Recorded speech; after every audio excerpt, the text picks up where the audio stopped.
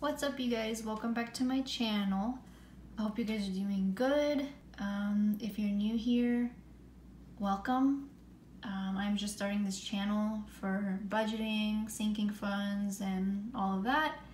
Um, today in this video we're gonna do calculating sinking funds. So uh, this video is specifically for people who want to know how out of their budget they can calculate how much to put away in each fund. Some people go by percentages and then there's people like me who do um, per paycheck. So even if you make like $200 for that paycheck, um, you take out your bills and then pay everything that's essential. Whatever money you're left over with is what you'll stuff your envelopes with. I'm gonna teach you guys how I calculate mine. Um, so let's go ahead and get started. So first I want to show you guys my envelopes. You may have seen this from my previous video. These are my envelopes and today I'm going to give you an example of how I would calculate um, how much money I would put in my envelope per paycheck. So let's start with pets since it's right here. Um, pets should be easy. So so the first thing you're gonna wanna do is figure out what it is that you have divided in your envelope. So for example, I have the pets envelope, but within that envelope ranges many things that I could pull money out for to use. For example, dog food, vet visits, um, flea medicine for my dogs, um, or any medicine, toys. So all those are different amounts. And for me, because I'm giving myself as an example, every two months is when I buy dog food, between like six weeks to eight weeks. So that's what I'm gonna write first is dog food. First we need to write what it is.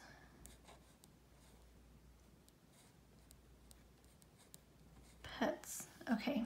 So we do dog food.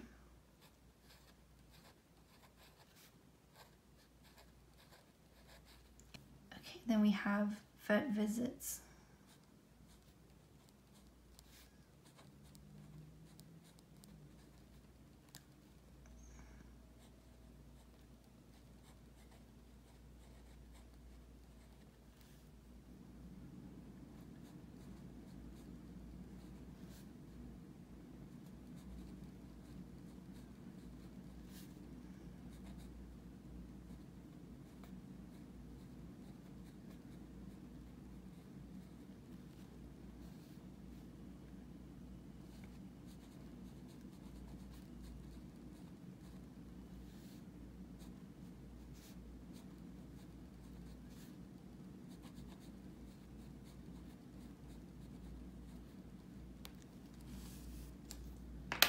Okay, so so far this is what I've come up with.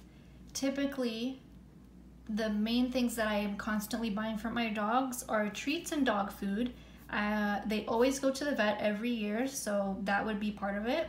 Toys, beds, and accessories, because I'm constantly having to buy new beds for them because they tear them. Um, new toys because they break theirs, and any kind of accessories, like maybe a new leash or collar because theirs broke or tore or something shampoo because I I do take my, one of my pit bulls to get groomed occasionally because he's really difficult to groom. However, um, the others I wash them and do their hair and their nails and everything myself. So I do spend quite a bit of money in shampoo in a in a year span. And then flea medicine that gets applied every 30 days. So I also spend quite a bit on that. So now that we figured out like these are like the main things and I'm sure there's other things that I do spend on them, but this is like broken down into what I would spend the most, not like miscellaneous stuff. So then you're gonna wanna calculate what you spend in a year per each. So you're gonna calculate if you spend like $30 in dog food a month, times that by 12 because there's 12 months in a year, then you'll get your your yearly, what you would spend in a year. So let's go ahead and calculate it. So in one year I spend typically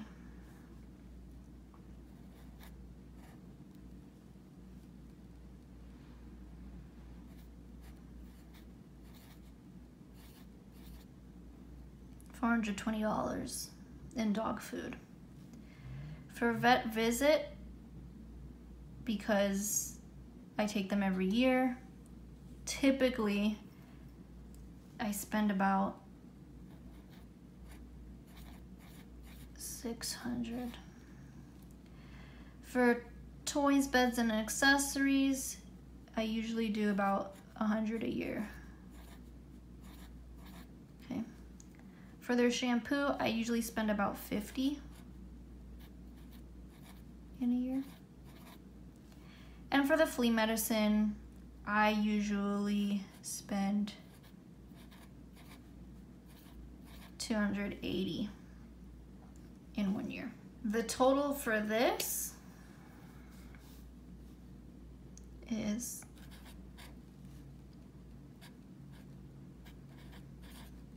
one thousand five hundred. All right, so that's the total.